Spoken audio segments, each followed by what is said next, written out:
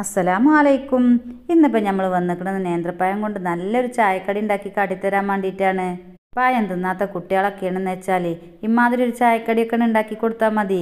എന്നാൽ പിന്നെ കുട്ടികൾ ഉഷാറായിട്ടാണ് തിന്നും ചെയ്തോളും. നമ്മളിപ്പോൾ ഇത് എണ്ണയിൽ മുക്കി കോരി പൊരിച്ചൊന്നും ചെയ്യാത്തതുകൊണ്ട് തന്നെ എണ്ണക്കടി തീർപ്പതില്ലാത്തവർക്കൊക്കെ തിന്നോക്കാനും പറ്റും. തടിമക്ക് കേടൊന്നുമില്ലാത്ത നല്ലൊരു പലഹാരമാണിപ്പോൾ ഇത്. അതുകൊണ്ട് തന്നെ ഇപ്പോൾ ഇത് രാവിലത്തെ ചായക്കടി അയക്കാണ്ടും വൈകുന്നേരത്തെ ചായക്കടി അയക്കാണ്ടും ഒക്കെ ഞമ്മക്കാണ് ഉണ്ടാക്കുക ഉണ്ടാക്കാനാണെങ്കിൽ നല്ല എളുപ്പമാണ് തിന്നാൻ നല്ല രസമുണ്ട് അപ്പോൾ നമുക്ക് ഈ ചായക്കടി എങ്ങനെ ഉണ്ടാക്കുക നോക്കിയല്ലേ? അപ്പോൾ എണ്ണിയാളെ നിങ്ങൾ നമ്മൾ സബ്സ്ക്രൈബ് ചെയ്തിട്ടില്ലേ ഒന്നാം സബ്സ്ക്രൈബ് ചെയ്ത് കണ്ട് അതിന്റെ അടുത്തത്തെ വെല്ലുമലും കൂടി ഒന്നും തൊട്ടുടുക്കിട്ടോ. അപ്പോൾ നമ്മൾ ഉണ്ടാക്കുന്ന പലഹാരങ്ങളൊക്കെ അപ്പൊക്കെ അപ്പം ഇങ്ങക്കാണ് കാണും ജജ്ജ. നിങ്ങൾക്ക് ഇഷ്ടപ്പെട്ടതൊക്കെ നോക്കി കാണ്ട് ഇങ്ങക്കാണ് ഉണ്ടാക്കും ജജ്ജാലോ. പിന്നെ ഇപ്പം ഇമ്മ കാങ്ങണ ലേക്കുമ്മലും കൂടി നിങ്ങളൊന്ന് തൊട്ടുകൊടുക്കുകയാണെന്ന് വെച്ചാൽ നമ്മൾ ഉണ്ടാക്കിയത് നിങ്ങൾക്ക് ഇഷ്ടപ്പെട്ടിരിക്കണമെന്ന് ഞമ്മക്കൾ മനസ്സിലാക്കും ജജ ഇന്നാ നമുക്ക് നേരം കളയണ്ട വേഗം ഒന്നാണ് ഉണ്ടാക്കി വെക്കുക നമ്മളിപ്പോൾ ഇത് ഉണ്ടാക്കാൻ വേണ്ടിയിട്ട് നാല് നേന്ത്രപ്പഴമാണ് എടുത്തുക്കണത്. ഇതിപ്പോൾ നമ്മൾ ആവിയിൽ വേവിച്ച് കാണ്ടെടുത്തതാണ് പൗപ്പൊക്കെ പാകത്തിനുള്ള നേന്ത്രപ്പഴമാണ് ഇപ്പോൾ ഇത്. വലിയ പൗപ്പായിട്ടുമില്ല എന്നാൽ പറ്റ ഇല്ല അപ്പോൾ ആ ഒരു പാകത്തിനുള്ള പഴമാണ് ഇത്. നമുക്കിതിനെ തോലൊക്കെ ഒന്ന് കളഞ്ഞുകാണ്ട് നല്ലോണം ഒന്നാണ് കുത്തി അടച്ചെടുക്കണം. നമ്മളിപ്പോൾ ഇത് വെള്ളത്തിലിട്ട് പുഴുങ്ങിയെടുക്കണിലേറെ നല്ലത്. ആവിയിൽ വെച്ചുകാണ്ട് വേവിച്ചെടുക്കണതാണ്.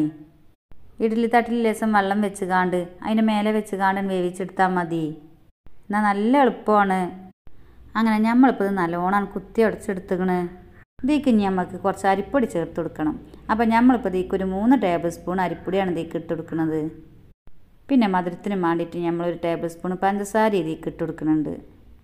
അങ്ങനെ നമുക്ക് ഇതൊക്കെ പാടാൻ കൂട്ടിക്കാണ്ട് നല്ലോണം അങ്ങോട്ട് ഇളക്കിയെടുക്കുക അങ്ങനെ നമ്മളിപ്പോൾ ഇത് ഒക്കെ പാടെ നല്ലോണം ഞങ്ങളുടെ കുഴച്ചെടുത്തുക്കണു. ഇനിയിപ്പോൾ നമുക്ക് ഇതൊരു ഭാഗത്തേക്ക് എന്നാണ് എടുത്തു വെക്കാം. ഇനി നമ്മൾ ഇമാതിരി ഒരു പാത്രം അടുപ്പത്ത് വെച്ച് കൊടുത്തുക്കണ്. എന്നിട്ട് നമുക്ക് ഒരു ടേബിൾ സ്പൂൺ നെജ്ജും പാർന്ന് കൊടുക്കുക നമ്മൾ നെജ്ജൊക്കെ നല്ലോണം ചൂടായി വരുമ്പോൾ നമുക്കൊരു നേന്ത്രപ്പായ എടുത്തുകാണ്ട് ചെറുതാക്കി മുറിച്ച് കാണ്ട് നമുക്ക് ഇതിക്കാണ് ഇട്ട് കൊടുക്കുക ഇനി നമുക്ക് ഈ പായം നമുക്ക് ഒന്നങ്ങോട്ട് വാട്ടിയെടുക്കണം. അങ്ങനെ ഇപ്പോൾ നമ്മളെ പായൊക്കെ ഇപ്പോൾ ഒന്നാണ് വാടി വന്നിക്കണ്. ഇതേക്ക് ഇപ്പം ഇനി നമുക്ക് കുറച്ച് തേങ്ങ ചേരേണ്ടതും കൂടി ഇട്ട് കൊടുക്കുക അതിന്റെ ഒപ്പം തന്നെ നമ്മൾ മധുരത്തിന് കുറച്ച് പഞ്ചസാര ഇട്ട് കൊടുക്കുന്നുണ്ട് അപ്പോൾ നാല് ടേബിൾ സ്പൂൺ പഞ്ചസാര ഇട്ട് നമ്മളിപ്പോൾ തീക്കിടുന്നത് അപ്പം മധുരത്തിന്റെ അളവൊക്കെ അങ്ങോട്ടും ഇങ്ങോട്ടും കൂട്ടും കുറക്കൊക്കെ ചെയ്യാം. അപ്പം നമ്മളിപ്പോൾ ഏതായാലും ഇപ്പോൾ തീക്കിടുന്ന നാല് സ്പൂണ് പഞ്ചസാര ഇട്ടിക്കണ്. ഇനി നമുക്ക് നല്ലൊരു ചുവയും മണമൊക്കെ കിട്ടാൻ വേണ്ടിയിട്ട് ഒരു അര ടീസ്പൂണ് ഏലക്ക പൊടിച്ചതും കൂടി ഇതിക്കാൻ ഇട്ട് കൊടുക്കുക ഇതൊക്കെ പാടെ കൂട്ടിക്കാണ്ട് നല്ലോണം ഒന്ന് അങ്ങോട്ട് ഇളക്കിയെടുത്തുകാണ്ട് ഒന്നങ്ങോട്ട് ചൂടാക്കിയെടുക്കുക അങ്ങനെ ഇപ്പോൾ നമുക്ക് ഇതാണ് റെഡിയായി നിൽക്കണു ഇനി നമ്മളെ തിജോ നമുക്ക് എടുത്തി കൊടുത്തുകാണ്ട് നമുക്കിതൊരു പാത്രത്തിക്കാണ് ഇട്ട് കൊടുക്കുക ഇനി നമുക്ക് നമ്മൾ നേർത്തെടുത്ത് വെച്ചിട്ടുണ്ടായില്ലോ പഴവും അരിപ്പൊടിയൊക്കെ കൂട്ടി കുഴച്ചത്? അപ്പോൾ അതെടുത്തുകാണ്ട് നമുക്ക് കുറച്ച് നമ്മളെ കജുമ ഓയിലാക്കിക്കാണ്ട് ഓയിലോ വെളിച്ചെണ്ണ എന്തെങ്കിലുമൊക്കെ ഒന്നെണ്ണം ആക്കിക്കാണ്ട് നെജ്ജുണ്ടെങ്കിൽ നെജ്ജോ എന്തെങ്കിലുമൊക്കെ ഒന്ന് കജുമല ഒട്ടിപ്പിടിച്ചാതെക്കാനേ ഒന്നങ്ങോട്ട് ആക്കിക്കാണ്ട് അതിനൊരു നല്ലൊരു ഉരുളെടുത്ത് കാണ്ട് നമ്മളെ കജ്ജിൽ വെച്ച് കാണ്ട് ഇങ്ങനെ അങ്ങോട്ട് പരത്തിയെടുക്കുക. നമ്മളിപ്പോൾ ഇതിന്റെ മാവൊക്കെ ഒരു പാകത്തെ കട്ടിയാണ് ഇപ്പോൾ ഇതുള്ളത് നിങ്ങൾ കണ്ടില്ലേ? ഈ ഒരു പാകത്തിനാണ് ഇപ്പോൾ ഇതിന്റെ മാവൊക്കെ വേണ്ടത്. നല്ലോണം പൗത്ത പഴയാണെന്ന് വെച്ചാൽ കുറച്ച് അരിഞ്ഞുകൊണ്ടൊക്കെ കരൽ വരിക.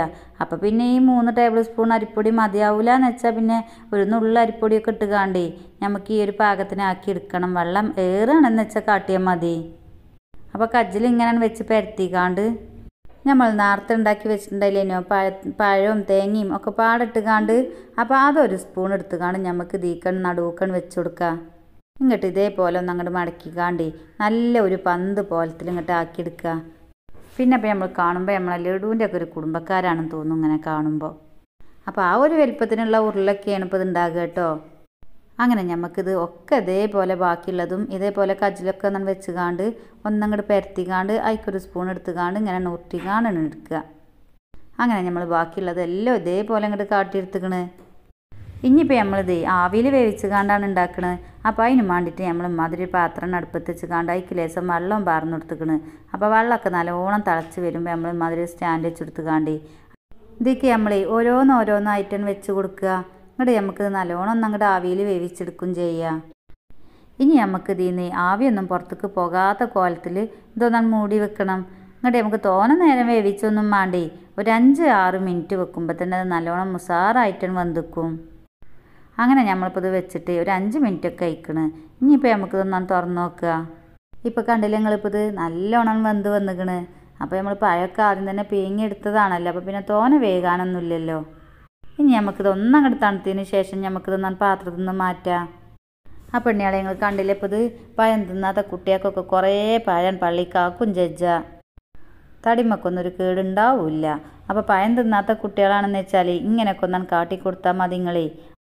പിന്നെ ചിലവരെ പേരിൽ പിന്നെ വായക്കൊക്കെ കുഴിച്ചിട്ടുണ്ടാക്കണോലുണ്ടാവും അപ്പോൾ അങ്ങനത്തോൽക്കൊക്കെ പഴം നല്ലോണം ചിലവാകാനും പറ്റും. എന്നും പഴം തിന്ന് മടുത്തൂൽക്ക് ഈ പഴം പീങ്ങിയതൊന്നും വലിയ തൃപ്തി ഉണ്ടാവില്ലല്ലോ അപ്പോൾ അങ്ങനെയൊക്കെയുള്ള കുട്ടികൾക്ക് ഇങ്ങനെയൊക്കെ ഒന്നാണ് ഉണ്ടാക്കി കൊടുത്താൽ നല്ലോണം കുട്ടികളാണ് തിന്നും ചെയ്തോളും. അപ്പോൾ ഇത്ര പണിയുള്ളൂ നമുക്ക് ഉസാറായിട്ടുള്ള നമ്മളെ പലഹാരം ഇവിടെ കിട്ടിയിരിക്കുന്നത് അപ്പോൾ നിങ്ങളെല്ലാവരും ഒന്നാണ് ഉണ്ടാക്കി നോക്കുക കേട്ടോ. നിങ്ങളുടെ നമ്മളോട് അഭിപ്രായങ്ങളൊന്നും പറയാൻ നിങ്ങൾ മടിച്ചല്ലേ.